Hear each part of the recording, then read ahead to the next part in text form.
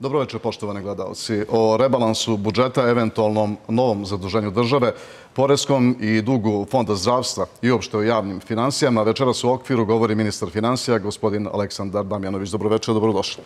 Dobro večer, hvala na pozivu. Pozdrav svim gledalcima okvira. Biće tu naravno i nekih drugih tema, ali ja bih odmah da krenemo od starta. Vi ste najavili da bi trebalo poraditi na rebalansu budžeta već u junu. E, da li možda u ovom trenutku znate da li će se to i desiti i koje bi korekcije to bile na prihodnoj i rashodnoj strani? Pa dobro, e, tokom rada na e, izmene i dopuna zakona o budžetu zbog tehničkog usaglašavanja i organizacije državne uprave, došli smo do nekih saznanja koje ukazuju na mogućnost i na potrebu da se e, uradi nove, da se urade nove izmeni dopune zakona, odnosno rebalans.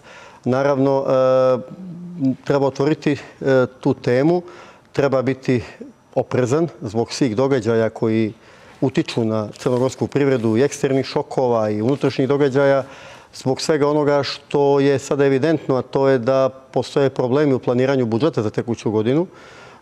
Već su ti podaci iznešeni vezani za dug fonda zdravstva i obaveze koje su veoma visoke. Nešto kasnije, naravno, detaljnije o tome. Dakle, nekoliko razloga koji ukazuju da će biti potrebe da se radi rebalans jesu što se tiče prihodne strane, neostvarivanje nekih prihoda za koje ne postoji ni zakonski mhm. osnov, iako ih je prethodna vlada planirala. To je 54 miliona evra po osnovu četiri zakona kojih nema. A hoće li biti pa da iskoristimo bar ovih pola godine? Biće, biće nešto što uh, uslovno rečeno nije ostavljeno uh, u smislu da se ne može završavati. Dakle, pokušat ćemo da vidimo što je sa zakonom igrama na sreću, zašto je dvije godine u fiokama. Uh Pokušat ćemo da vidimo što je sa markiranjem goriva. Uh, Izmeni dopune zakona o porezkoj administraciji u smislu uh, ob, ob, nezakonite imovine, odnosno nezakonitog, -huh. nezakonitog bogaćenja su također u stolu i to moramo da pogledamo. Pokušat ćemo da odradimo nešto, da makar spasimo jedan dio godine ovo do kraja tekuće godine. Na rashodnoj strani naravno postoje e, neke obaveze koje slijede, koje se tiču e, zakona i amandmana koji su prilikom e, usvajanja budžeta u decembru prošle godine usvojeni, a nisu tada planirani u budžetu. I oni su reda također nekoliko desetina miliona evra. Dakle, iz svih tih razloga a i zbog e, opreza, zbog inflacije i rasta cijena hrane i cijena nacije derivate koje negativno e, utiču i na javne financije, ne smeta da se e, blagovremeno obave pripreme. Koji bi to iznos bio, gospodine Damjanović, jer vjerojatno vi imate, napravili ste i presek i znate koji je to novac od prilike u pitanju? U ovom trenutku, u oči početka turističke sezone, možemo da govorimo o potencijalu nekih 50 miliona evra koji nedostaju da bi se uravnotežili prihodi sa rashodima. Vidjet ćemo e, možemo li e, računati na dobru turističku sezonu pa pokušati da taj rebalans e, umjesto u julu E, sagledamo odmah na kraju sezone. Ja sam pristalica da se to radi blagovremeno, da se e, ne gata i ne gleda u šolju šta i kako će biti. Prosto ne znamo ni mi e, što će biti sutra što se tiče globalne, da kažem, krize i geostrateških igara, pogotovo reperkusija na Crnu Goru i na region u smislu opet kažem, inflacije koja nije nimalo naivna i naravno šokova eksternih rasta cijene naftnih derivata i hrane, da budemo oprezni, pa da vidimo. Dakle, nije, dakle, nije, ništa, nije, ništa, nije ništa problematično. Ja čak mislim da je blagotvorno da blagovremeno radimo dakle, izmeni dopune zakona o budžetu, ravnotežimo prihode sa rashodima ostvarimo određene, nadam se, rezerve, blagovremeno počnemo priču o eventualnoj dodatnoj akumulaciji ili ti zaduženju, imajući u vidu trend trošenja sadašnjih depozita koji su negdje početkom godine bile nivo 440 miliona, sad su manje od 300 miliona. Zašto, e, to sam htio da vas pitam, zašto je došlo tako naglog topljenja depozita? Zato što se kompletan budžetski deficit e, finansira iz depozita. Dobro. da, prosto je to tako. Ali sad imamo, e, prije nego što vas pitamo kamati i ovom kako ćemo nadomjestiti tih 50 miliona koje će faliti vjerovatno. Počeli smo, počeli smo blagovremeno pripreme i razgovore sa međunarodnim institucijama, sa Svjetskom bankom, sa MMF-om. Kakve su kamate u ovom trenutku? Kamate u ovom trenutku e, su veće nego što su bile. E, one su i dalje, uslovno rečeno, bez obzira na e, ova dešavanja, još uvijek su takve da to može da istrpi Crna Gora. Dajte nam procente koji su. Pa vidjet ćemo. Kamata na harti od vrijednosti na državne obveznice su već o 6-7%. Jedno je, jedno, je kamat, jedno je kamat ako suđe u aranžman sa međunarodnim finansijskim institucijama javnog karaktera, poput Svjetske banke, poput IBRD-a, poput Evropske investične banke. Drugo su kamate na takozvane komercijalne zajmove od strane velikih međunarodnih banaka ovaj, ili Čemu smo bliži u ovom trenutku? Da li pa ja sam uvijek za konzervativno gledanje tako se gdje ponašam. Čini mi se u ovom poslu da ipak prvo ispregovaramo sa takozvanim javnim finansijskim mhm. međunarodnim institucijama, da vidimo šta su tu mogućnosti. Tu se ne radi samo o klasičnom obliku zaduženja, tu se radi i o tehničkoj podršci i tako dalje. A i nekoj vrsti aranžmana i kontrole upravljanja javnim finansijama. Tako je. Ako pričamo o MMF. Tako je. Vi ste nedavno kazali da aranžman s MMF-om ne bi značio nužno smanjenje plata, penzije i ostalih socijalnih davanja. Ja sam... Da li ste sigurni u to i kako bi se mi mogli u eventualnom aranžmanu izboriti za tako? Ja sam siguran da nećemo ući u aranžmane koji će e, za uzvrat tražiti da idemo unazad što se tiče nekih zakonskih obaveza i prava koja su konstituisane. Ova vlada i Ministarstvo financija su rekli da će, bez obzira šta god je konstituisano, nije plaćeno ili treba da se plati, da će to da ono izmiri. A šta bi onda bilo za naredne godine? Ajde, za, naredne, za naredne godine mislim da moramo malo da razmišljamo da imamo i neku investicijnu paradigmu, da se pomalo povećava i produktivnost, da se malo povećava i zapošljenost, da prosto Crna Gora dobije neki ekonomski zamajac koji nije samo sezonalnog karaktera i koji se ne tiče samo turizma, da se stvara nova vrijednost.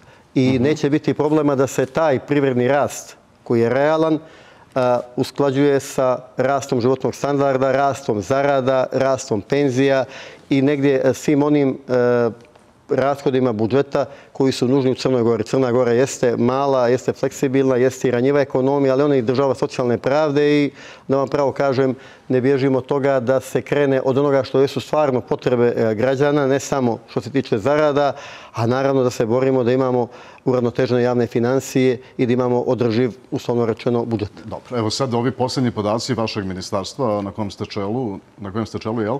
Ovaj, za period januar-april podaci pokazuju da je deficit budžeta 36,4 miliona eura, to je 0,7% bruto domaćeg proizvoda, to je 78,2% manje nego što je bilo planirano budžetom. Kad vi pogledate ove e, podatke, onda se e, svakom ekonomisti čini da su ovi podaci čak sjajni.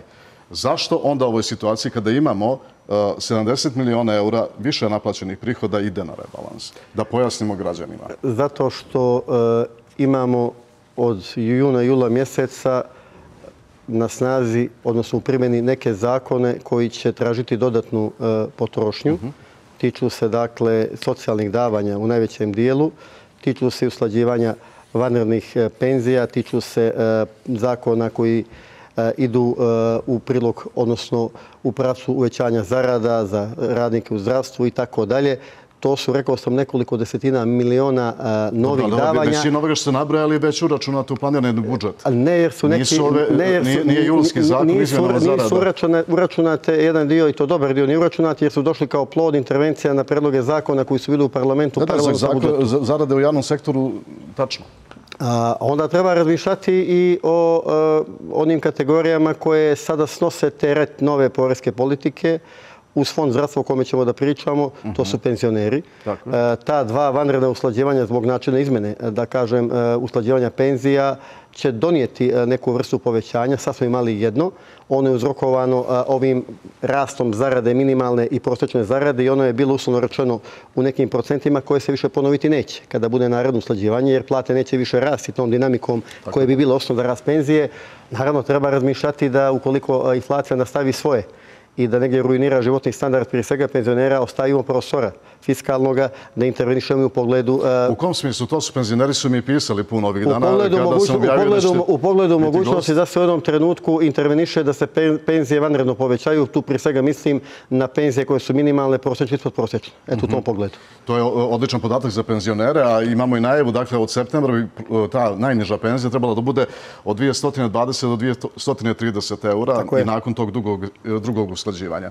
Dakle, koja je vaša poruka? Da radite na tome da možda i pored tog usklađivanja e, uradite nešto u koristu napređenja položaja penzionera. Ja sam vas dobro razumio. Tako je. Da li bi to bilo nešto u vidu jednokratnih pomoći ili povećanja? To bi bilo vjerovatno neko vanredno usklađivanje, e, vanredno povećanje, kažem, e, na način da bi to najviše osjetili mhm. oni penzioneri koji imaju minimalne penzije ili ispod prosječne penzije. Vidjet ćemo da li će koliko biti potrebe za tim i u kom trenutku, u kom će trenutku biti dovoljno sredstava da se ide sa tom mjerom. E, kažem, e, penzioneri su uz fond zdravstva i uz opštine, pogotovo opštine na sjeveru, odnosno lokalne samuprave, kategorije koje najviše pogađa nova porezka politika i negdje kada smo već krenuli u novu porezku politiku i kada smo već podigli minimalne zarade i koje su pogurale prosječne zarade, hajde da razmišljamo i o ovim kategorijama i da tu napravimo određene pomake. E, interesuje ovaj komentar. Prethodni ministar financija, gospodin Milojko Spajić, je kazao je nedavno da Crnoj Gori u ovom trenutku nije potreban ni rebalans, ni novo zaduženje. Podsjetimo javnost da je on također kada je predlagao budžet za 2022. godinu tražio zaduženje od 500 plus 900 miliona eura. Međutim, on tvrdi da on to nije tražio za potrošnju kao što vi e, tražite sada. Uh To je bio njegov komentar. Pa recite mi, Evo, negdje ste dijelimično odgovorili. Da li smo bili prinuđeni e, na ovo nešto i šta biste odgovorili? Ajde prvo, ajde prvo da ne polemišući naravno sa nekim ko nije ovdje. E, Dobro, ali stav je javno izrašen, e, tako da možemo. Radi se naravno o odluci o zaduživanju Crne Gore koje je predloženo od strane vlade zajedno sa predlogom zakona o budžetu u decembru prošle godine. Ovdje je već u stvari u novembru prošle godine. Ovdje je traženo u tačka 1 je u pitanju odluke, stav 2, gdje se daje e, pregled e, potreba države, kaže se za otkup ili refinansiranje državnog duga. Država se u 22. može zadužiti do 900 miliona evra. Otkup ili refinansiranje postojećeg duga. Sljedeći stav. Izuzetno od stava 4.5 ovog člana država se u 2022. godini može zadužiti do 500 miliona za potrebe finansiranja deficita. Da budemo stvarno malo e, ozbiljni i malo kredibilni, i da ne zamajavamo nikoga. Dakle, ako se traži e, 15. novembra 500 miliona evra za ovu tekuću budžetsku godinu, fiskalne rezerve dodatne, koja nije prošla, a tada, u tom momentu, nema intervencija na određene zakone koji izazivaju oko 50 miliona novih raskoda. Nema ni pomisli da ovih 50 miliona na prihodnoj strani neće biti osvareno jer je obećano da će se sa tim zakonima, nema ni tih zakona. Dakle, to je već 100 miliona koji nedostaju. Nemamo rat u Ukrajini koji sad e, gura cijene hrane i cijene energenata na više, gura inflaciju koja naduvava bilanse s jedne strane što pomaže pod navodnicima budžetu, ali siromaši ove kategorije koje su zaista u problemu.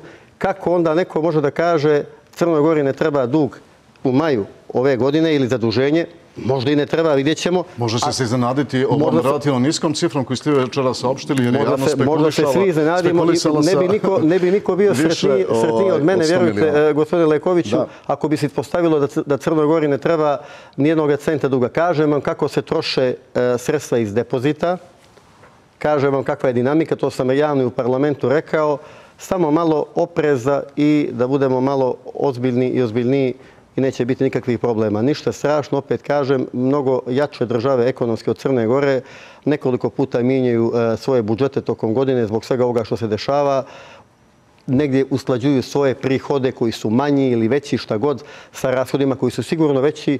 Neka to i Crna Gora negdje e, blagovremeno obavi. Mi smo zemlja koja koristimo evro, mi nemamo monetarne mehanizme, ne možemo da se, e, što se kaže, igramo na monetarnom tržištu. Nama, nama su fiskalne opcije jedine koje imamo. U tom smislu, pažljivo upravljanje javnim financijama je negdje suština i baza održivog privrednog ekonomskog rasta i čuvanja životnog standarda najvećeg broja građana. Dobro, sada vas pitam e, sa pozicije ministra financija, da li je vama u ovom trenutku da ste bili u decembru pozicije, da ste bili, na primjer, poslanik u Skupštini, da li vam bi bilo prihvatljiva ideja o zaduženju od 500 plus 900 miliona? Podsjetimo, ovih 900 miliona bi se koristilo za refinansiranje ili otkup starih dugova po većim kamatnim stopama.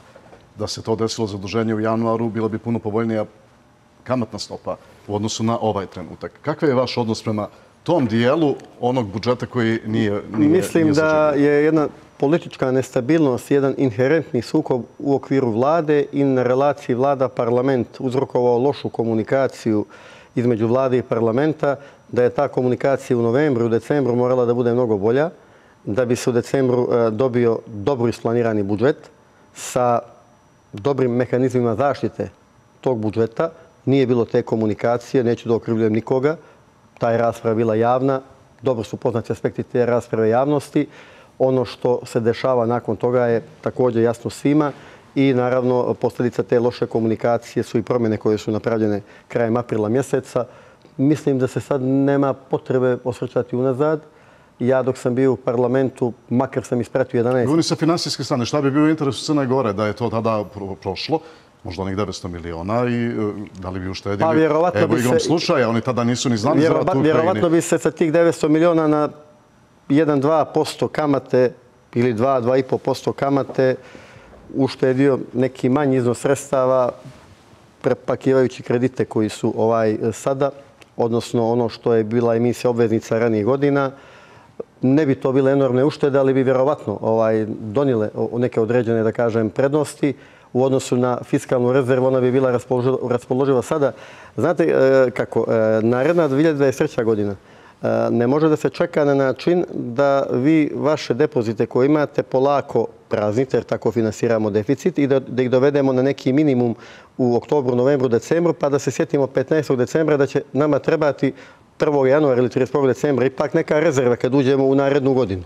Prosto o tome moramo da razmišljamo blagovremeno i negdje da budemo svi, uslovno rečeno, svjesni i okolnosti i situaciju u kojoj se danas nalazi Crna Gora u jednom surovom e, geopolitičkom okruženju gdje se negdje i ekonomski pravi šteta Crnoj Gori zbog e, nekih mjera koje Crna Gora mora da preduzima u ekonomskom smislu slijedeći politiku Evropske unije i svega ovoga što se dešava oko rata u Ukrajini, tu govorimo o gubicima za turizam, o gubicima za strane direktne investicije, pitanje je da li će nam neko i na koji način kompenzovati dio tih gubitaka, Dakle, sve su to faktori koji ukazuju da se mora biti mudar i pametan i blagovremeno e, ispregovarati i eventualno obezbiditi da u skladu sa potrebama, a svakako ne čekajući zadnji moment, Crna Gora ostvari neke rezerve. Možete li vi razmišljati o tome da refinansirate neke loše kredite?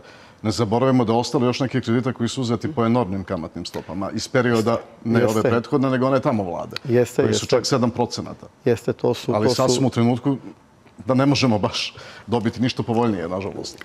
Razmišljat ćemo o, tome. E, mi moramo da razmišljamo o još nekim stvarima. Dakle, ima je ponuda za refinansiranje ovog kineskog kredita.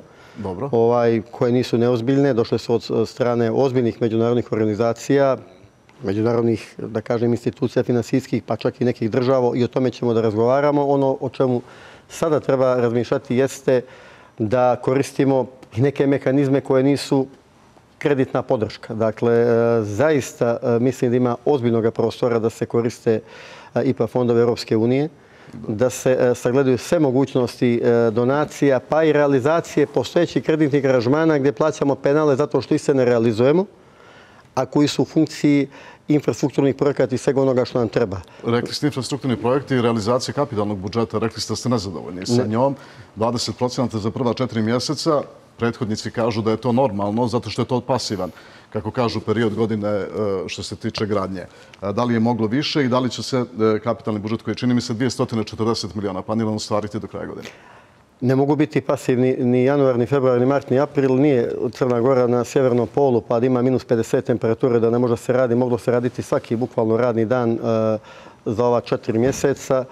Evo, gotovo pet mjeseci za nama. A dinamika ukazuje da mi imamo problem i sa planiranjem kapitalnog budžeta i sa planiranjem prioriteta i onoga što je zaista realno moguće realizovati u nekom kratkom roku, pogotovo kada se radi e, o infrastrukturnim projektima, objektima, dakle e, putevima i tako dalje. Ta dinamika e, trošenja kapitalnog budžeta ukazuje da mi nemamo taj ekonomski impuls koji nam nedostaje. Dakle, Što je razlog Jedan od, razloga, jedan od razloga jeste loše planiranje, drugi razlog jesu zaista problemi koji, se nala, koji su sada na, u sektoru građevinarstva. Oni su uzrokovani rastom repromaterijala sirovina, berzanskih materijala koji se koriste u građevinarskoj industriji. Ugovori koji su sklapani, sklapani su kao fiksni. Puta tri ili puta četiri su negdje poskupili inputi kod tih projekata imamo, nažalost, firme, kompanije kojima se isplati, pod navodnicima isplati, da raskinu postojeći ugovore, plate penale i dožive ozbiljne gubitke, jer im je veći gubitak da nastave da rade. Crnogori se svakako ne isplati da se i to malo projekata što ima prekida. Ima i tu razloga. Tražimo model poput drugih država. Hrvatski model, čini mi se, nije loš. Poručavamo ga da se nađe model da se mimo onoga što je zakon o javnim nabavkama i 20% za vanredne situacije, što je nedovoljno, jer su ovdje puta dva i puta tri problemi, da se nađe model da država izađe u susret tim kompanijama, da se ti projekti nastave kako bi imali taj neki ekonomski impuls koji nedostaje. Suština je da stvarno moramo da izađemo malo iz e, razmišljanja i presipanje šupljeg u prazno. Kada govorimo o, javnim finansijama, treba nam ta nova vrijednost. Da vidimo, uh, gospodine Lekoviću, šta možemo brzo, šta je sa dionicom autoputa do granice, šta je sa Adransko-Jonskom cestom, šta je sa Lukom Bar. Vidite sami problemi uh, u Nikšiću sa željezarom. Što će vam to biti u prioritetu rada zajedno, naravno, sa drugim ministarstvima? Mora biti. Šteta je sada kada se minjaju okolnosti na tržištu, kada recimo imamo rast cijena sirovina, pa i željeza da mi imamo probleme sada kada bi ta željezara mogla da daje e, ozbiljne, da kažem, i prihode. Vidjeli smo danas su nastavljeni neki pregovori i ne znamo kako će to rezultirati. Još ne znamo cijenu po kojoj bi Turci prodali nama, eto, ponovo željezaru. Doći ćemo i do tih e, podataka. Ono što mi se isto, e, moram reći, dopalo je ona priča o refinansiranju dobiti državnih kompanija. Pa ste pomenuli logičkim slijedom događaja da elektroprivreda kupi Montenegro bonus koji ima hangare e, za čuvanje goriva.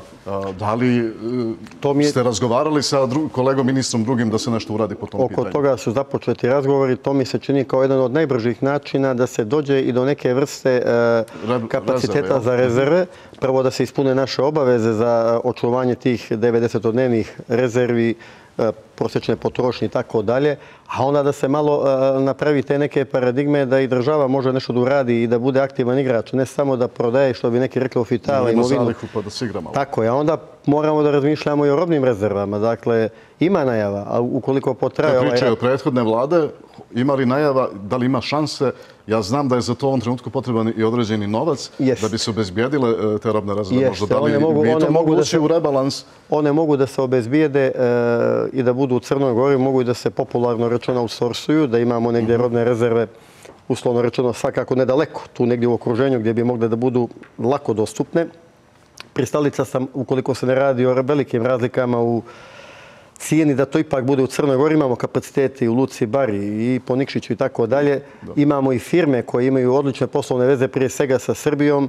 Mislim da nam je Srbija tu e, najbliži partner da sa njima dogovorimo e, taj proces. To košta samo prvi put kad se napune uslovno rečeno stokovi zalih. Jasno, zato sam i rekao. Poslije toga to već nije trošak. Vjerujte da je e, uslovima kad imamo i probleme u kanalima snabdjevanja, da obezvidimo da roba dođe E, do Crne Gore, to mnogo bitno. A ukoliko se rat nastavi, a najave su da, evo, nažalost, ne vidimo kraja svemu tome, svakako da poremeće na tržištu hrane mogu da budu još veći i moramo da budemo spremni za te šokove. Vidite sami da smo, smanjili, da smo smanjili kao nova vlada i uradili ono što nisu radile prethodne vlade. Smanjili smo, dakle, hitno PDV na osnovne životne namirnice. Dva put smo smanjili e, akcize na e, maloprodane cijene naftnih derivata. Ovo posljednje još 10%, tako da je država ono što je mogla do 58 smanjila. Maksimalno radila. Ali sve u redu to što ste rekli, e, ali efekt toga je, čini mi se, više zadržavanje cijena na postojećem nivou, a ne sniženje. Evo da pojasnimo građanima, jer oni očekuju e, kada ste smanjili PDV, da će i cijene osnovnih životnih namirnica biti niže. A imamo u pitanjima gledalaca neke primjere gdje se vidi da do toga nije došlo. Naravno, e, to je maksimum što može država da uradi vezano za sobstvene prihode budžeta koji se odrekla da bi negdje e, kako tako e, umanjila rast cijena. Jeste li to kalkulisali vezano za rebalans, smanjenje prihoda Naravno da postoji, da postoji već neki bilans smanjenja tih prihoda. E, imali smo dinamiku do marta, aprila mjeseca stalnog rasta akciza na gorivo.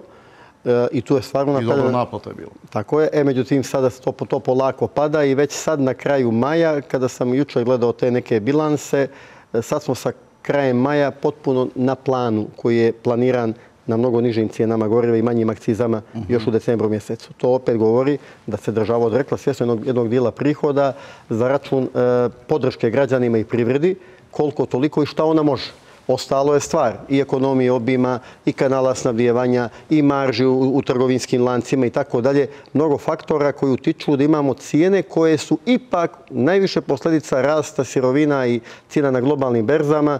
Negdje, ako vam sada kažem da su cijene, e, recimo, ulja skoro udvostručene za par mjeseci, a najjeftinije su ulje na valje iz Srbije, u odnosu na region, da ne govorimo o daljim destinacijama gdje se troškovi značajno većavaju zbog tih e, lanaca snabdjevanja i komunikacija.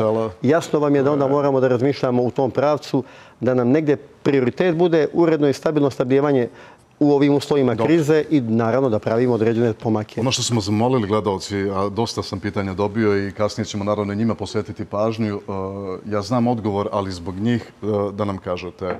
Da li će početi na vrijeme isplata dječjih dodataka, šta se dešava sa naknadama za novorođenčad? I da li će radnici e, zaposleni u sektoru zdravstva, u stvari mislim i na ljekare i na subspecijaliste i specijaliste, dobiti ono povećanje koje im garantuje zakon uh, sve što su zakonske obaveze, sve što su zakonske obaveze koje slijede, uh, kakve god da su, mi ćemo ispoštovati. Naravno, kroz analizu primjene tih zakona imat ćemo određene, nadam se, korekcije u pozitivnom smjeru. Ja mislim da je jedan od težih zadataka ove vlade da, spremajući budžet za narednu godinu, pripremi jedan ozbiljan, sveobuhvatan, konzistentan e, zakon o zaradama u javnom sektoru. Sada je postojeći zakon o zaradama u javnom sektoru nakon nove porezke politike koja je definisana zakonim u decembru potpuno izremećen i negdje bi morali da dođemo do e, jednog usaglašavanja, da napravimo, e, uslovno rečeno, takav zakon koji stimuliše i koji ne ide prema nekoj uravnilovci da prosto više niko e, nema ni ambicije ni, ni, potrebe da pokaže svoj radni angažman. Dakle, da ponovim sve što je izglasano u parlamentu i sve što su zakoni i sve što, e, zakona, i sve što su obaveze prema građanima, socijalna davanja, zarade, ova vlada će apsolutno ispoštovati. I ići ćemo, ići ćemo preko toga. E, šta to znači preko toga? To, znači, znači da će neka, neka prava biti unapređena. Tako u kom smislu? To, to znači da ćemo, govorio sam o penzijama, to znači da ćemo pratiti šta se dešava na tržištu, pogotovo vezano za inflaciju. Ukoliko inflacija dobije neke ona i sada zabrinjava, ona je veća od 10%. Mhm. Kada govorimo... I nažalost poješće ovo povećanje penzionerima opet to pominje. Tako je, dakle, moramo da razmišljamo da neke mjere unaprijedimo, prosto će biti potrebno da se reaguje prema nekim socijalnim kategorijama i prema onima sa najnižim primanjima. Dakle, e, promijenilo se radikalno, gospodin Leković, okruženje ovih nekoliko mjeseci.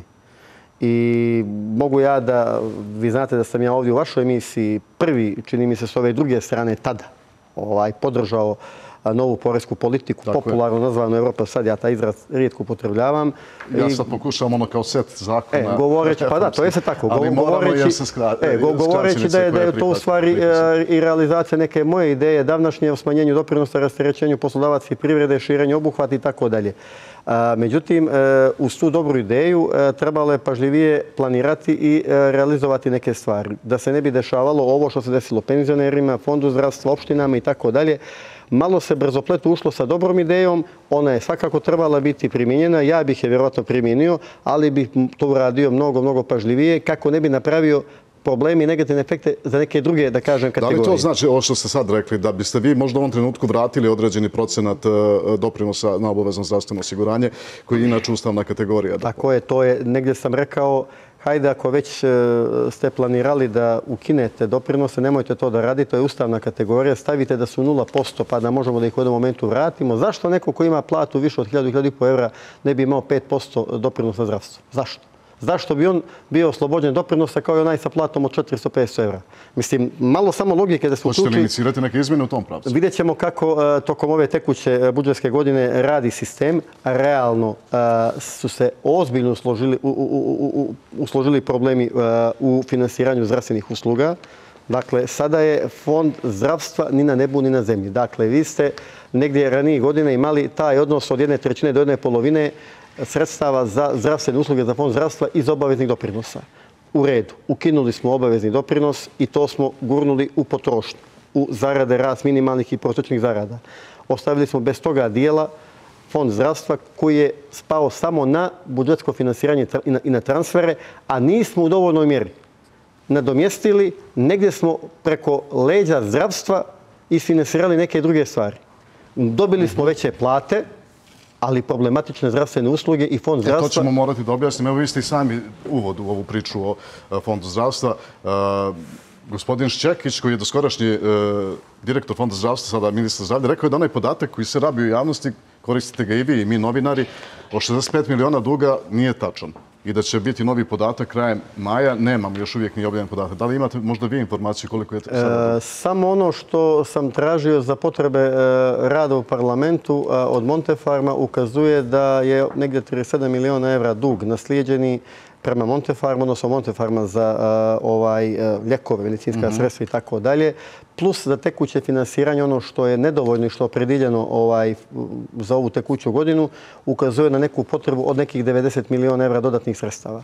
do kraja godine? Dakle, realno, umjesto... Dodatnih sredstava? Da, umjesto 334 miliona evra koji su budžetom opredeljeni za tekuću godinu, mislim da je 334 cifre, ne znam da li držim u glavi. Jeste. Negdje bi trebalo realno uključujući i naslijeđene dugove. Druga je stvar, e, validnost dugova kad su nastali, zašto nisu plaćani, nisu li provjeravani i tako da. Oni postoje u sistemu i država ih mora izmiriti. realno, je trebalo, realno je trebalo planirati oko 400 miliona evra. Da, li je problem više u, u nerealnom planiranju uh, ili u programu Evropa sad? E, dakle, pošto u javnosti pojavljaju spekulacije da je Evropa sad ugrozila zdravstveni sistem Crne Gore, ali da li, da li je više greška planiranja? Znate zbog čega vas pitam? Zbog punjenja budžeta koji ide po planu i više od plana, a 334 e, miliona je najveći iznos za zdravstvo koji su posljednjih deseta godina odvojili. I imajući u vidu dvije godine pandemije koje su e, e, ruinirale zdravstveni sistem i u svim državama svijeta, pa i u Crnoj Gori podigle enormno podigle enormno, e, podigle enormno ovaj potrebe zdravstvenog sistema i zdravstvenog sektora. Dakle, nije problem e, u Evropa sada, nego je problem u tome da kad smo ušli u taj e, plan nove fiskalne ili porezke politike, a trebalo je mnogo opreznije i pažljivije planirati sredstva za fond zdravstva imajući u vidu da više nije postala mogućnost obaveznog doprinosa. To se nije dobro uradilo, namjerno ili nenamjerno, ja to ne znam. U svakom slučaju ostalo je nekih 60-70 miliona manje nego što je neophodno za tekuću godinu.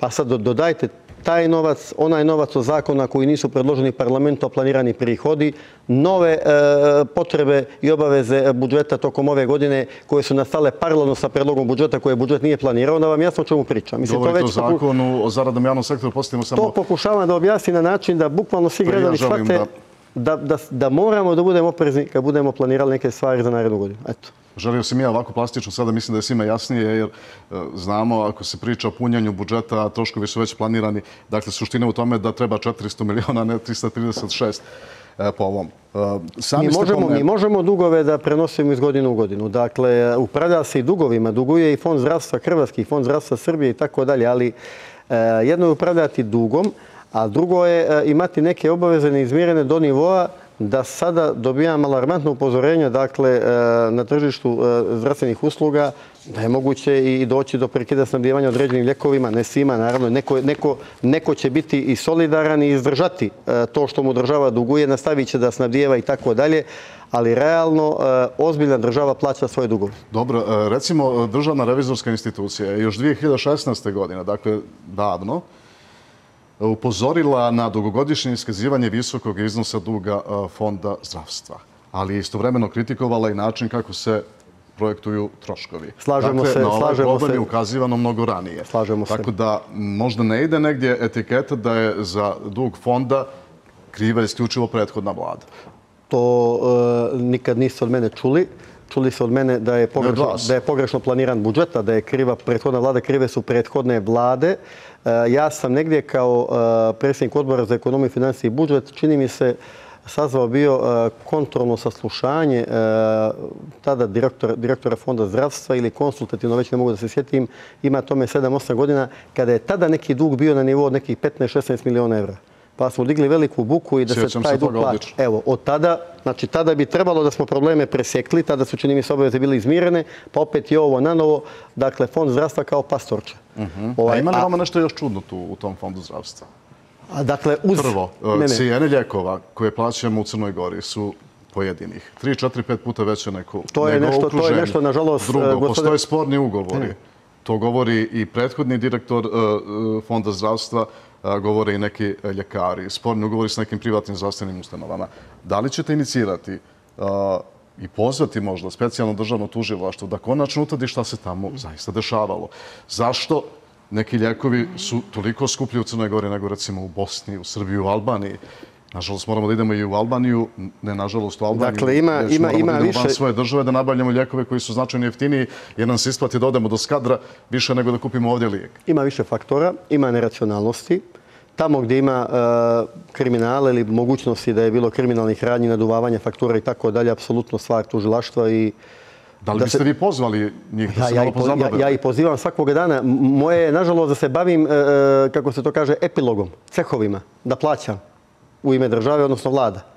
A svakako da pozivam sve organe, evo DRI je radio svoj posao 2016. nije se mnogo odmaklo, da se ispitaju i te neke vrste zloupotreba uz svakako ono što je neracionalnost, što nije nezakonito, ali je neefikasno poslovanje i tako dalje, neekonomsko, do onoga faktora, nažalost i to moramo da kažemo, ekonomije obima, malog tržišta i negdje e, realno e, mnogo manje naručenih količina ljekova za tržište Crne Gore, gdje kod moćnih globalnih kompanija, a ako je gdje globalizovano tržište, globalizovano je na tržištu ljekova i medicinske opreme, gdje se prosto, e, kada s njima pregovarate, jedna cijena za ljekove daje kad imate tržište od 5 miliona ili 15 miliona stanovnika, druga cijena kad imate tržište od 500.000. Tu negdje Pa onda postoji, postoji zato rešenje da se nekome pridružimo u tom smislu kompanije koje nabavljaju ljekove pa da kupimo po nižim mnogo, cijenama. Mnogo, mnogo rešenja mora da... Ne znam da li znate podatak da smo 2016. godine za ljekove izdvajali 43 miliona eura,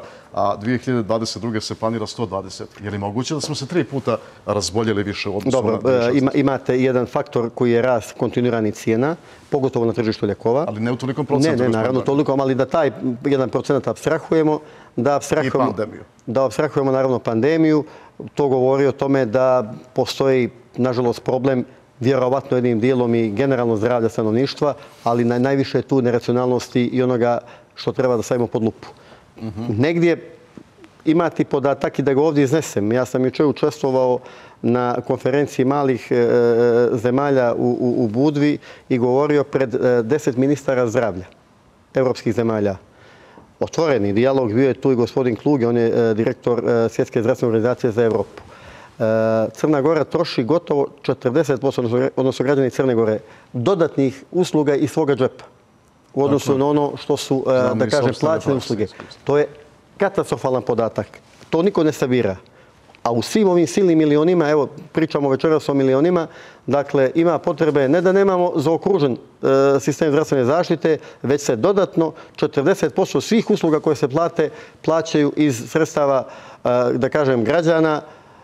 Tu neko može da plati, neko, bogom, mi, veoma teško, neko, nažalost, ne može. E, to su problemi e, crnogorskog zdravstva i ovo je alarm ne, ja se nisam libio da odmah te podatke dam, da upalim lampice svima nama, da ovome razmišljamo i da dobijemo negdje sistem koji je održiv i gdje pametno trošimo novac koji nije mali, a dobijamo maksimalne zdravstvene usluge za sve građane. Jesmo sada na ivici ono što ste i kazali da se državni zdravstveni sistem pretvori odjednom u javni, da bude on je, on je na ovaj način, on je na ovaj način gurnut. Samo, samo ovaj podatak o plaćanju džepa. Recimo, ovih 350 miliona, to je ogromna cifra novca. Možemo o, jedna od najznačajnijih stavki u, u, u budžetu Crne Gore. Da li je moguće da, da ne možemo dobiti adekvatnu uslugu? Pa hajde i da povećamo za tih 50 što ste o tome ćemo, o tome Da li ćemo tada biti mirni? Mislim da, da će energiju, biti energiju treba, svu energiju treba da, da uložimo da razrišimo to pitanje koje ste postavili. Dakle, nismo na drugoj strani stvorili za ovih 15-20 godina alternativne modele, dobrovoljne fondove, zdravstvene. Znate da smo e, lutali, minjali nekoliko puta dakle. zakon o zdravstvenom osiguranju, pa ima dobrovoljnih fondova, nema, ima prvi i drugi stup i tako dalje. Ništa nismo uradili, samo smo se oslonili na ovaj fond, a vidjeli smo kako smo se prema njemu odnijeli. I sad postoje problemi, sad se moraju rešavati a vjerovatno upaliti lampica da odgovorimo na ovo pitanje koje ste postavili. Da, naravno. Ima jedna pohvalna stvar, a to je da su prihodi po osnovu doprinosa za penzijsko i validsko osiguranje, čini mi se čak 28% veći. To je ipak negdje uliva nadu da ljudi koji će nekada poći u penziju neće biti na minimalnoj penziji. Moramo i to pohvaliti kao činjenicu, budući da se doprinosi plaćaju na veću osnovicu. A moramo i e, imati e, u glavi činjenicu da imamo i pad na pozicijama bruto zarada, Dobro. zbog uh, ukidanja ovog doprinosa, da moramo i tu mnogo pažljivije da planiramo, da podaci o nekih 50.000 više zaposlenih, odnosno kako sam ja to ovdje objasnio, promijenjenoj metodologiji uh, računanja broja zaposlenih, ne e, nemaju, uslovno rečeno, logike kada se uporedi, uporede podaci o prihodima od zaradi i tako dalje. Mislim da negdje... Nikako da dođemo do tog nekog podatka, broju zaposlenih koji bi bio relevantan ličnu Mislim da je vrijeme da se i u tom dijelu napravi jedna ozbiljna analiza ovaj efekata. Ja se nadam da će nam negdje i e, Međunarodna organizacija rada pomoći. Imao sam razgovore da oni naprave nezavisnu reviziju Dobro. Ovaj, e, uticaja e, nove politike na zapošljenost da dobijemo tu realne podatke, da ne bi lutali i da ne bi ovdje neko govorio e, domaće istraživanje su ovakva, onakva, neko ih je naručio ili nije, da nam treba ozbiljna ekspertiza, kao što sam dogovorio i sa gospodinom Klugijom, e, odnosno zamolio juče na skupu, da se i u ovom dijelu zdravstvenog sistema napravi također nezavisna međunarodna evaluacija uticaja nove politike na fond zdravstva, da prosto dobijemo sadržajne podatke kako bi mogli da imamo bolje planiranje svih javnih politika. Dobro, jeste raspoloženi za jednu grupu pitanja gledalaca? Zbog gledalaca smo i ovdje. Da, i uvijek ste za to raspoloženi, to moram i reći. E, kaže gospodin, prethodna vlada je donijela odluku da se poslodavci za svakog novozaposlenog od 1. marta 2021. godine oslobađaju plaćanje doprinosa u prvoj godini za 90, u drugoj 70 i u trećoj za 30%. Obzirom da je moja firma imala novog zaposlenog, podnijeli smo zahtjev za korišćenje te povoljnosti. Dobili smo rješenje kojim se prihvata naš zahtjev, međutim, Poreska uprava i dalje obračunava i duži nas za puni iznos, kažu da nisu dobili novac od države za to. I ne mogu sada dobiju potvrdu u izmjerenim poreskim obavezama. Evo jedan konkretan problem. Konkretan problem. Nadam se da su čuli odgovorni i da će se u tom smislu napraviti reakcije. Ja ću svakako dopriniti tome. A e, šta biste ni savjetovali? Obavit ćemo razgovor sa upravom da vidimo o čemu se radi. Dobro. E, za ministra e, Damjanovića, da li će se od 1. jula primjenjivati zakon o zaradama za univerzitetske profesore? Zakon je podsjećan usvojen krajem decembra. Ta je norma usvojena, njena odložena primjena počinje 1. jula i na nama je da primjenimo zakon i bit će primjenjen da odgovorimo profesorima. Je tako? Kakva bi to bilo vlada koja ne bi primjenjala zakone? Da, jedna interesantna konstatacija koju ja često koristim, kaže gospodin Senat, kako to da zemlja koja je po veličini stanovnika, jedan Zemun, Sarajevo, malo manja od Zagreba, predgrađe bilo kojeg većeg grada Evropske unije po broju stanovnika, s teritorijom i resursima sto puta veći može biti siromašna, prezadužena i naopako, kako on kaže, postavljena. Senade, očigledno je problem u svima nama i ja se to pitam sto puta dnevno kao Senad. Možda ima neko ko si ne pita kome baš dobro ovdje, ovaj problem za sve nas do nas moramo se mijenjati. Da.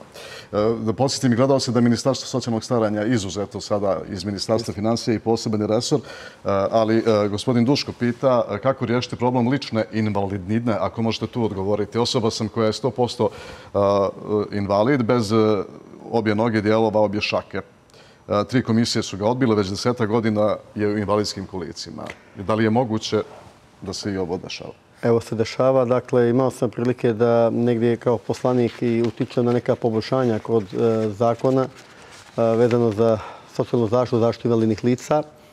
I negdje mislim da je to volno pitanje da negdje trebamo da, da pod lupu stavimo i način kako rade komisije, mm -hmm. kako se naravno ovaj, e, dodjeljuju te naknade i ta primanja. Zreli smo za jedan remont i u tom dilu naravno. Ja, ovo pitanje Duška Borića će se morati ministru... Zaista mislim, zaista mislim da je rešenje koje je bilo negdje projektovano, koje ne poznaje nijedan ozbiljan sistem, da se spoje Ministarstvo financije i rada i socijalnog staranja, odnosno socijalnog staranja, nemoguća misija. Dakle, obično u svim vladama su to dva ministarstva na dva mhm. potpuno, da kažem, suprotna pola, gdje se čak ti ministri pod navodnicima i svađaju i čupuju jedno od drugoga. Vi ste ovdje napravili sistem kod prethodne vlade da to bude na jednom mjestu to ne da je opasno, to ruinira sistem. Jer tu se potpuno gubi osjećaj za prihod, za raskod, dakle za planiranje, za ono što se objektivno pokazalo u praksi baš tako. Naravno. I da je bila graška. Naravno. E, dakle, imamo pismo e, predstavnika akcionara Solane, dakle u ime 18.000 akcionara Solane Bajo Sekulić, pitanje za vas. E, s obzirom da je stečajna uprava Ministarstva financija podnijela žalbu na odluku katastra koji je po nalogu vlade Zavka Krivokapića donijela rešenje da promijeni nosioca prava, to jest da zemljište Solane prenese na državu Crnu Goru, a koja je prethodno preko fondova prodala sve akcije, u koje zemljište nesporno ulazi u akcijski kapital. Molim vas za informaciju da li ste upoznati s tim predmetom i kada ćete odgovoriti na gore pomenutu žalbu imajući u vidu zakonske rokove koji su već odavno istekli. Mislim da je u pitanju napredna pogrešna formulacija. Ako sam uhvatio stečajna uprava ministarstva financija, to ne može da... Naravno da ne, ali ja čitam kako je napisao gospodin, ali ovaj, to ne postoji. Naravno, ajde da, da, mi to pitanje... Ovaj, Mislim da je rekao možda stečajna uprava ministarstvu financija da, je uputila. Da mi to, ovaj, pojasnimo, naravno, dilim zabrinutost. E, Solana je e, tada kroz privatizaciju, da ne govorim kakav je bio model, kupljena jeftino. E, mislim da i nije javnost nikad obaviještena da li je da li je e, plaćena tržišna naknada da bi se e, pretvorilo pravo raspolaganja i pravo upravljanja u pravo svojine nad zemljišne solane, radi se o vrednom zemljištu. 15 miliona kvadrata Tako je, donijeti su, donijeti su i neki određeni akti i minjani čini mi se prostorni plan da bi se e, tu namjena promijenila. Jedna je namjena bila za komercijalne svrhe, sada ta namjena više nije takva. Nominalno vlasništvo je dalje u rukama oni koji su to privatizovali. Ima modela da se obave razgovori, pregovori, da se e, to vrati državi. Ima i tih modela. Nije dovoljno da samo promijeniti namjenu i onemogućiti neke megalomanske planove. Ja mislim da treba napraviti prije svega reviziju e, da li je zemljište i na koji način kroz eventualnu plaću naknadu e, u svojini Solane e, napraviti e, upit i vidjeti kako se do toga došlo. Dobro, ali u toliko je postupak uknjižavanja na državu tih 15 miliona kvadrata. Tako je, ima mehanizama, ima mehanizama da se ne, ulade, ne uladeći u vlasnička prava. Jer država mhm. naravno poštuje vlasnička prava, imovinska prava, to je valjda sine qua non opstanka bilo kakvog sistema i bilo kakvih institucija. Ali gospodin tvrdi da ukoliko se ovo uknjiži na državu, da država neće poštovati vlasnička prava, oni smatraju da je to imovina Solane ima načina da se prispita da li je, da li je pravo raspolaganja i pravo upravljanja prešlo u pravo svine na zagonit način. Ovo pitanje je interesantno, ali mislim da nemate odgovor. Kojim algoritmom se može dati formula preživljavanja penzioneru sa punom penzijom od 149 eura? Kada će se izvršiti usklađivanje iznosa po pravu za tuđu njegu i pomoć kao iznos lične invalidnine? To ste nešto i pokušali odgovoriti. Eh, šta će se učiniti sa pravima lica sa invaliditetom? Može li se tu nešto, baš je dosta pitanja došlo iz te kategorije Da, to su pitanje socijalne sfere. To je ono što govorim, eh, gospodin Lekoviću. Dakle, nisam ja eh, neko ko bi bilo što kritikovao, a da negdje zaista nema realnog utemeljenja. Ovdje sam ukazivao da su teret nove porezke politike. Apsolutno. Apsolutno. Najviše podnijeli penzioneri i te socijalne kategorije. Pa I nisu ta pitanja koja stižu jedno za drugim nisu ona džaba, nije to neko dirigovo i naručio. to je prosto, to je prosto e, potreba onih koji su se našli u problemu, sada u velikom zaostatku, a ova inflacija radi kako radi, a to su kategorije koje su ranjive i nemaju alternativne izvore prihoda da bi pregurali mjesec. Evo i ovo pitanje, razmišljali se o nekim, nekim novim vidovima, makar jednokratne više mjesečne novčane pomoći penzionerima sa najnižim primanjima. Da, Vi ste to objasnili u prvom dijelu emisije. Dakle, bit će tu i novih usklađivanja. Ako se kaže, gospodin najavljaju rebalans budžeta, da li će biti uvrštena i ova sva moja prethodna posljedna pitanja? I to ste odgovorili. Je li tako? To je bio Goran. Eto, i njemu smo izašli u susret. Filip pita, da li će u sradnji sa Ministarstvom zdravlja razmotriti povećanje koeficijenata nemedicinskom kadru zaposlenom u sektoru zdravstva? koji je izostavljen odlukom prethodne vlade. Tako je, sada smo, sada smo došli u situaciju, rekao sam, nisam ja e, slučajno rekao, eto, ne anticipirajući naravno pitanja, ali sam mogao da pretpostavim e, gdje su problemi, da predstoji nakon nove porezke politike koja je napravila probleme u koeficijentima gdje se sada e, faktički spojili, ne znam, e, zaradu srednja sprema, viša sprema, visoka sprema. Tako je, nema uopšte diferencijacije. Znači, svi su I zdravstvu. Koeficijenti izgubili smisao. To će biti vraški, teški, vraški težak posao. 45.000 je ljudi e, u, u javnom sektoru, bez lokalnih samuprava. To sklopiti Sizifo posao, ali se mora ući u to. Hoće uspjeti to do kraja da se Pa mislim da je jedina prilika da se donese novi zakon o zaradama u javnom sektoru sa budžetom za narednu godinu. Kompletno novi. Sad nakon nove porezke politike, da bi se tu napravila najteži mogući posao koji čeka sistem. Je to? Da se pogodi i da se napravi optimalan održiv sistem mhm. gdje će taj nivo zarada zaista odgovarati i e, truci i referencama i e, gdje će napraviti e, određene normalne razlike e, u koeficijentima, to je sada potpuno istumbano i sva ova pitanja koja e, se postavljaju, upravo se postavljaju iz svog radnog. Dobro, kaže gospođe, voljela bih da pitaš gospodina ministra šta je sa cijenama osnovnih životnih namirnica i navodi primjer. Eh, apropo priče o smanjenju eh, PDV-a i ograničavanju cijena osnovnih životnih namirnica. Ulje je u subotu bilo euro... 2,5 evra je ulje, sad već da, da, ono kaže, ulje u subotu, kaže, bilo euro 80, u ponedljak ujutru, dakle, to isto koje je ostalo na rafu, 2,30. Jaja su euro 80, najjeftinije mlijeko euro i 10, e, litra jogurta preko jednog eura, hljeb od 500 grama 80 centri. Za najosnovnije potrebe dnevno treba 10 eura bez voća, povrća, mesa i sira. Kako da živi četvoročlana porodica sa stambenim kreditom? Bilo je najljeno da će se cijena brašna smanjiti, a i dalje je najjeftinije kilogram 80 centi. Dakle, dakle to smo u startu emisije rekli, e, sve ono što je država mogla i što može, a vezano je za e, učešće države u formiranju maloprodajne cijene, država je malte ne uradila e, i odrekla se tih prihoda. Sad i sami vidite koliko to malo utiče na globalni rast cijena i to e, ovih proizvoda koje smo još uvijek u situaciji da nabavimo iz najbližeg okruženja, gdje je ono ubedljivo najjeftinije u odnosu na sve ostale, da kažem, cijene. Ima li to malo i ovaj, neodgovornog ponašanja trgovaca koji Eh, ono što, ste, što im je država poklonila u vidu smanjenja PDV-a zadrža za sebe umjesto da idu na, na, na, na smanjenje cijena. Ja se nadam da toga, da toga zaista nema. To bi, A nisam eh, siguran. To bi negdje bilo kao i ono podizanje cijena ljekova kod korone. Imali smo kod eh, par njih i zna se kako je javnost reagovala.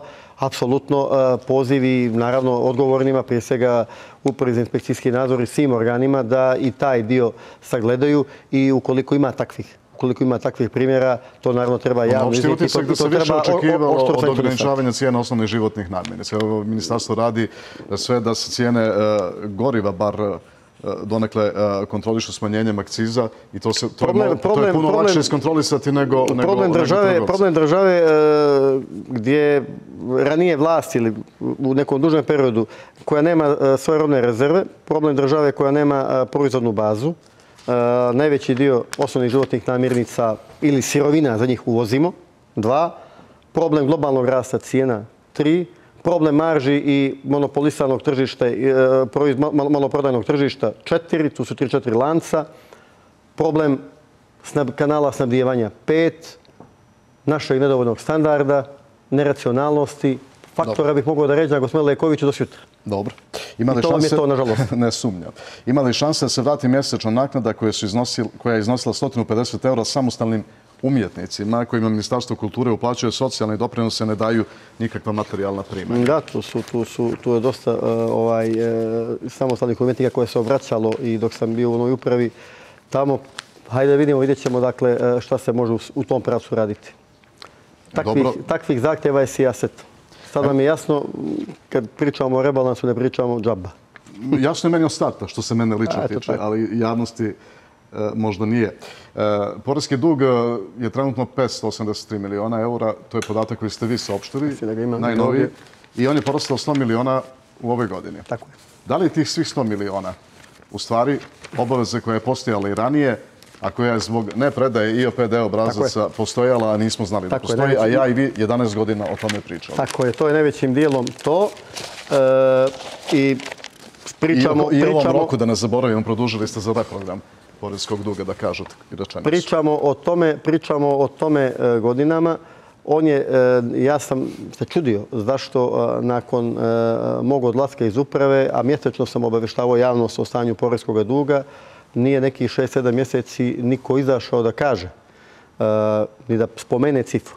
I onda sam negdje, naravno, imajući u vidu i u dogovor sa direktorom uprave prihoda i carina, tražio te podatke za pripreme za Skupštinu i da mi se da presjek pred kraj godine. To je bio nivo od 480 miliona evra, veći nego koji sam ja ostavio, negdje ne puno, ali veći. I negdje u maju mislim da je presek bio 26. ili 27. maja, 580 miliona evra. Dakle, sad se prepoznalo dodatnih 100 miliona evra duga koji je plivao, koji nije bio vidljiv upravo zbog načina kako su obračunavani doprinosi. Jer su, kažu, tajkuni donosili zakone nekada. Jer su tajkuni donosili zakone nekada i ovo je konačno uh, urađeno. A ja ne znamo o čemu se radi ono, u evidenciji. Mislim da smo čak i u parlamentu to predlagali, jer nego ne imalo yes. da prođe. E sada, makar imamo realno stanje, ukupnog poreskog duga, normalno jedan dio toga se nikad naplatiti neće. Pokušavamo sad evo i kroz ovaj reprogram koji e, treba da stupi na snagu. Tu će morati još neke mjere da se preduzimaju. Vidjet ćemo da li imaju efekata da se ide na jednokratno otpisivanje kamata ukoliko se dug plati odmah i tako dalje. Može i to možda bude način. To bi bilo interesantno. Kada ćete to odlučiti? Probamo, probamo sada nakon reprograma i nakon prijeve za reprogram da vidimo e, šta su bilansi. A onda da vam pravo kažem... Možete se ljutiti i vi i bilo ko, ali to je jedna velika nepravda prema redovnim platišama.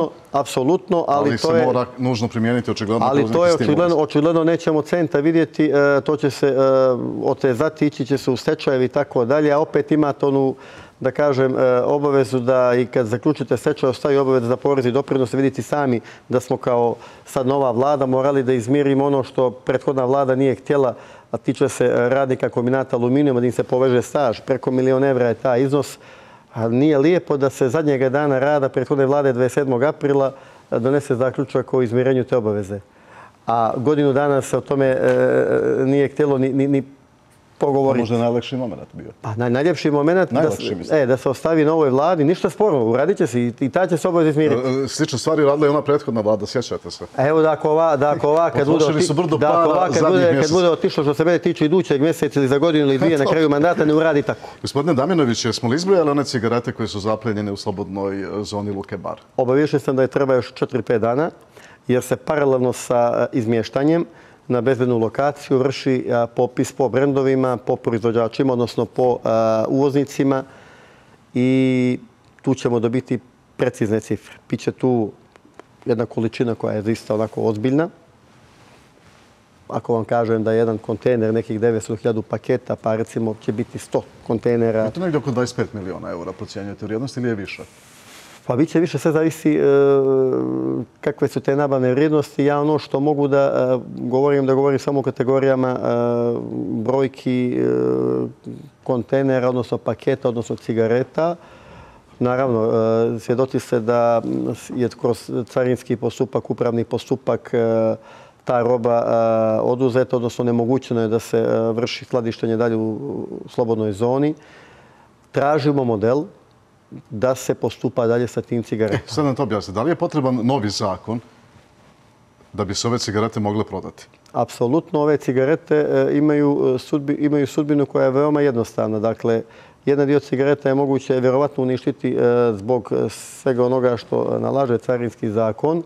Jedan dio cigareta koji je sada izmješten, odnosno koji je oduzet, ne može da se plasira na domaće Zbog Evropske unije i naših propisa, Prvo i zbog naših propisa, jer tu e, kad su te cigarete uvezene radi daljeg e, izvoza, radi reeksporta, nisu uvezene da budu na domaćem tržištu pa da se poslala akcijna markica da se nalijepila i da je stigla. Ovo sad potpuno pojašnjavam i da, da bi svako razumio. One ne mogu da se akciziraju, dakle e, mogu samo da se eventualno, eventualno sa posebnom taksom oporezuju i da se e, pod nadzorom države e, izmjeste iz domaćeg carinskog područja, odnosno da napuste Crnu Goru. Kako to uraditi i da li ćemo moći to da uradimo da ostanemo u zoni e, i domaćih i međunarodnih propisa, ja se nadam. Zašto zakon ili ti lex specialis, zakon o upotrebi cigareta i tako da i tako da, vidit ćemo kako. Radna grupa je formirana, radi na tome. Pa za to, gospodine Lekoviću, ne bih na sebe preuzimao tu lepu obavezu da ja iz Lave i vlada dajemo i iznos takse i rok i način upotrebe i tako dalje. Dobro, mene, mene zanima po koju ste cijenu koristili, ćemo, odnosno ne, koristili ćete u posljednji zalih. To ćemo da podelimo s parlamentom. Tu ćemo, zajedno, tu ćemo zajedno to da radimo javno, transparentno, legalno, zakonito. Moramo li baciti ovaj dio da ne bacamo nešto što se ne mora baciti? Evo sad jedno lajičko pitanje. Zašto bi morali spaliti taj dio cigareta? Ili zapaliti u termoelektrani. Pa je, na primjer. Napraviti spektakl. Ako možemo od toga podmiriti pola duga fonda zdravstva? Vidjet ćemo. Uh, neka taksa koja bi bila, ne znam sad koliko centi da licitiramo, 20, 30, 40, 50, pa na neki broj miliona uh, komada kutija, svakako daje određen iznos ovaj, koji nije zanemarljiv, pogotovo u ovoj mhm. situaciji, koji bi bio dobar prihod, prihod budžeta. Opet kažem, to možemo da uradimo isključivo na bazi posebnog zakona, vodeći računa i o međunarodnim standardima i o propisima, vodeći račun da niko s polja nije ugrožen, da to ne može biti ni na domaćem tržištu plasirano, jer nema nikakve mogućnosti, i vodeći račun o tome da se treba odrediti i neki rokovi i to ko će tu robu da proda i to po kojoj taksi ta roba može da se uzme da se prodaje, da se izvede iz Crne Gore. Sve su ozbiljni elementi, probat ćemo da nađemo rešenje. Dobro, hajmo malo ovim e, deviznim... Ako ga nema, ne gine spaljivanje. Da, za malo da rekao i deviznim rezervama. Mislio sam o budžetskim e, rezervama. E, vi ste nedavno rekli da je onaj iznos od 67,5 miliona se istopio, ali ne u smislu da je potrošen, već i raspoređen. Tako je. Tamo gdje pripada i da ostalo svega 5,7 miliona eura u tim rezervama. Međutim, ukoliko budete platili onaj dio koji je vlada je li tako, formirala obavezu za onaj put opštini Herceg Novi, Meljine, Petijevići, skoro da su onda devizne rezerve na nuli. E, ajmo prvo da kažemo šta to znači, e, ali moramo pomenuti i gdje su te devizne rezerve otišle. Tekuća rezerva. Da. Tekuća rezerva. Dakle, 5,7 miliona su slobodna sredstva bila kada sam iznio taj podatak. To je negdje bio ovaj kraj maja. Ona je otišla na nešto što je plaćeno ipak malo bržom dinamikom no što je bilo predviđeno. Nažalost, dosta toga je konstituisano poput ove obaveze za radnike kombinata aluminuma što nije plaćeno, što ćemo morati da platimo kao odgovorni ljudi. Da, da napravimo razliku za početak, a toga će da bude još pa kad dođu radnici Dakića, pa predsudi razgovora i tako dalje. Pa da se zapitamo zašto samo 3% odvajamo za restituciju godišnje i 30 godina treba da vratimo nekome osnovno osnovno građansko pravo da mu se imovinsko pravo i tako dalje i tako dalje. Rezervisano su neka sredstva, recimo 15 miliona evra tekuće rezerve je rezervisano za nadomještavanje negativnih efekata nove porezke politike na opštine, na EGA fond i već je počela isplata... Tamo 15 miliona. Da li je to, koliko će to njima ublažiti posljedice uh, nove porezke politike? Pa, i, I to je raspoređeno po mjesecima. Jeste, znači, prva da ne stekne utisak da je novac potrošen, a da nisu ne, ne, te pare otišle na mjesta gdje su bila planirana. Novac je raspoređen, Imam ja to, 10 miliona za osnivač, kao osnivački ulog za kreditno-garantni fond, 15 miliona raspoređen opštinama za cijelu godinu, 5 miliona za podršku poljoprivredi, 5 miliona za naknade za novorođen čad, 2 miliona za podršku izbjeglicama iz Slobodnih sredstava za ove takozvane incidente, da se malo našalim ili nepredviđene mhm. obaveze, odnosno konstituisane obaveze koje nisu plaćene. Evo, sami ste samo iznili podatak o 4 miliona put Meljene Petiviće koji je pod lupom naših organa, da, da. da prvo vidimo da prvo vidimo da to zaista pravo obaveze na koji način je konstituisana. Platit ćemo ako bude, naravno sve kako treba, nećemo ako ne bude, nego ćemo ići u sudski proces da vidimo prvo ovaj, a ako bude potrebe, morat ćemo i u tom dilu da vodimo računa kod rebalansa da obezbidimo dodatni prostor oko kreditnog garantnog fonda i, tih, i te rezervacije. Pa vidjet ćemo. Ja sam negdje e, u komunikaciji s parlamentom dobio e, negdje uvjeravanja da jedan dio parlamenta želi da se povede razgovor o formiranju razvojne banke Crne Gore, ako imate investicijalno razvojni fond koji u, svom, e, u svojim nadležnostima ima mogućnost da e, vrši poslove kreditno-garantnog fonda, malo je čudno da idete na kreditno-garantni fond, da pravite dvije institucije, možda je stvarno rešenje razvojna banka Crne Gore. A da li ste odustali od kreditno-garantnog fonda? E, nakon sagledavanja, da li ćemo ići prema razvojnoj banci Crne Gore, donijet ćemo tu odluku. Ukoliko se ide prema razvojnoj banci, onda nema potrebe da egzistiraju i investicijalno razvojni fond i kreditno-garantni fond i razvojna banka. To bi već bilo e, šaljivo i igranje sa institucijama ukoliko se ne ide prema razvojnoj banci, onda ćemo da vidimo kada možemo da dođemo do kreditnog fonda. Šta će da biti svojih 10 miliona koji je opredeljeno u budžetskom rezervu? Ukoliko se zakon o kreditnog ratnog fondu ne usvoji ili se usvoji njegova primjena počne 1. januara, što će vjerojatno biti ako budemo usvajali taj zakon, ta ćemo sredstva rezervisati za sijaset ovih potreba o kojima pričamo, poput ovih milijon i po konstituisanih od prethodne vlada neplaćenih. Mi ćemo plaćati. Naćemo i namjen. 455 miliona od nove godine su banke e, odobrile novih kredita u Crnoj Gori. Koliko će to značiti za ekonomsku aktivnost u Crnoj Gori i e, ono što je krucijalno, koliko u suštini javne financije Crne Gore zavise od turističke sezone i vidimo da su podaci za sada ohrabrujući. Da li imate neke projekcije da će zavise, Zavisi dosta, to smo vidjeli i 2020. kad smo pali i 2021. kad smo se vratili. E, podaci su dobri, samo da imamo u vidu da kad pravimo poređenje, do sada pravimo poređenje sa aprilom i majem, znamo da smo ipak do aprila ili maja prošle godine imali dejstvo korone i zatvorene granice, tako da će nam prava poređenja biti jun. Maj, kraj maja, jun, početak jula. Tu ćemo negdje osjetiti u kom pravcu ide turistička sezona. Apsolutno, e, sad malo da govorimo i o onome što nije samo daj, stvaraj par iz ničega, dakle, e, fiskalna disciplina, Dobro. Fiskalizacija, pogotovo uh, u sektoru turističkih usluga, dakle ugostiteljstvo, I privatni plažni mobilijar i privatni, kontrolisani. i privatni smještaj koji je rudnik, nažalost, neiskorišćeni uh, obaveza ekonomija, koje se ne plaćaju. jel? To je siva ekonomija. To je 50% sive ekonomije. Dakle, da pokušamo da vidimo gdje nam je, uh, uslovno rečeno, porezki potencijal, gdje nam je ta siva ekonomija, gdje su nam prave mjere, moramo da ih kreiramo i kreirat ćemo ih, da uđemo radikalno obračun sa sivom ekonomijom, jer čini mi se da su najveće rezerve Crne Gore upravo u tom dijelu.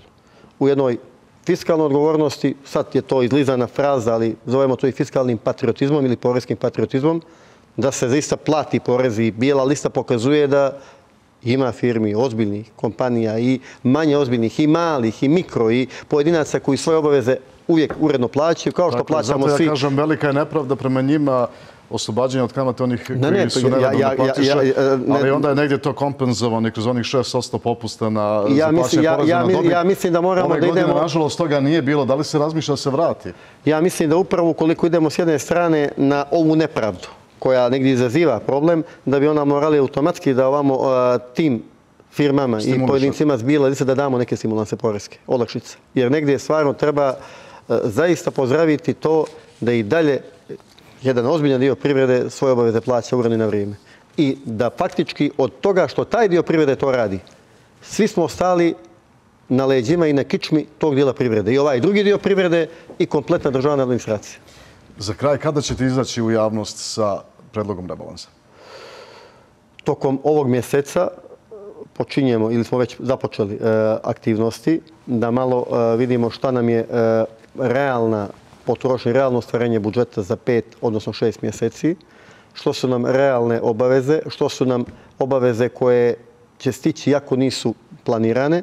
Pravimo analizu e, obaveza koje su konstituisane, pratimo e, rast, odnosno dinamiku e, rasta prihoda. Rekao sam vam da kod akciza je to polako pada, da se to već izjednačilo sa planom. Kod PDV-a imamo porast, kod bruto zaradi i ostalih nekih doprinosa imamo pad. PDV, e, svakako i rast PDV-a jednim dijelom uzrokovan inflacijom, Da, da, koja je iznad cijena. nadu- nadovala bilanse. To moramo da maknemo, da uklonimo, da ne, pričamo bajke. Sve to će nam biti elementi. Razgovaramo na drugoj strani sa međunarodnim Dobro, prihod institucijama. ostaje, ali bajke u smislu da se ne nadamo da je veća to aktivnost. Tako, a to siromaši, to siromaši ove kategorije o kojima smo pričali. I ništa, to što dobije država negdje i naduvaju se bilansi i neki prihod, to će mora da se vrati kroz kanale upravo ovima kojima to treba. Tako da to nije neki ekstra prihod koji je pao s Marsa e, državi u budžet, nego nešto što je došlo kao posljedica inflacije i tako dalje. Pratimo situaciju e, na globalnom tržištu i oko e, cijene novca i oko ovih ekstremnih šokova, cijene hrane, naftnih derivata i tako dalje, da negdje, kažem, analiziramo u junu, u julu do kraja proljećnog zasjedanja Skupštine do 31. jula je dovoljno prostora da se izađe s predlogom pred parlament, da se u ozbiljnoj komunikaciji s parlamentom, ne podilaženju bilo kome, nego u ozbiljnoj otvorenoj komunikaciji dođe do jednog dobrog zakonskog teksta i da imamo stabilne, uravnotežene financije, kakva god da bude turistička sezona do kraja godine. Stvorimo fiskalnu rezervu i uđemo ipak u izvjesnu ili, ili izvjesniju 2023. Nadati se da će i neki globalni potresi od tada da prestanu. Da li bi Aleksandar Damjanović kao ministar financija predložio zakon o naknadama majk, majkama sa troje više djece uvijek. u ovom trenutku? O, uvijek. Biste, svaki, svaki put. E, tada bih samo e, negdje e, sad onaj originalni tekst rado vratio i, i promovisao ponovo. On je naravno dograđen sa amandmanima i tako znamo tu istoriju kako je to bilo te dane 2015. godine. E, opet kažem, e, i to Bez obzira što Ustavni sud rekao da je on diskriminatorski. Većina. Da li biste ga... Ne, ne, samo polako. Da, evo samo čekam. polako. Većina u Ustavnom sudu je rekla da je on e, diskriminacija. Većina u Ustavnom sudu. Da ja vrednostno se ne određujem. Ja sam bio jedini poslanik koji sam otišao u taj Ustavni sud da branim na otvorenoj sjednici e, taj zakon. Niko od poslanika koji imaju ustavno pravo i da osporavaju zakonske tekstove nikad nije pod inicijativu, ona je došla od takozvane grupe građana. Da ja ne ulazim ko su ti građani, neka su imaju pravo kao inicijativa. E, kako je Ustavni sud presudio, najbolje govori činjenica da je odmah nakon toga donio zakon o primjeni zakona i tako dalje, kojim je, kojim dao pravo ali na način da je dao stepene i godine e, kako mogu da se koriste ta prava. E sad ja pitam, ako je Ustavni sud nakon toga naložio da se izradi zakon i da se recimo kategoriji, e, jednoj kategoriji e, korisnica da pet godina i da pravo prestane, a zašto pet, zašto ne 12 do, penzije? U čemu je razlika? Meni je pitanje bilo da li biste predložili u ovom trenutku uvijek, budući uvijek i opet da, kao što ću da, da biste bili zaduženi za realizaciju kao i za što ću, nabavljanje kao novca. što ćemo jel? servisirati sve ovo i ovaj zakon koji je na snazi. E, ja vam samo kažem, naši demografski trendovi su katastrofalni. Imaćemo popis, ja se nadam, mnogo, mnogo prije nego kasnije.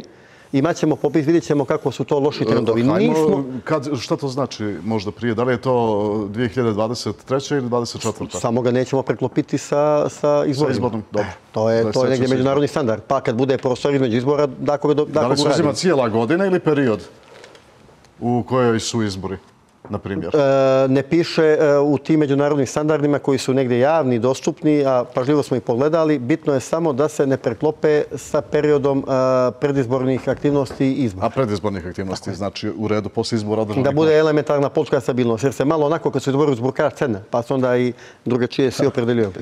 Dobro, hvala vam puno što ste bili gost Okera. Hvala vam na pozivu. Hvala vam. E, hvala i vama, poštovani gledalci. Bio je ovo Aleksandar Damjanović, ministar financija. Mi se vidimo narednog petka od 20 sati. Prijetno večer.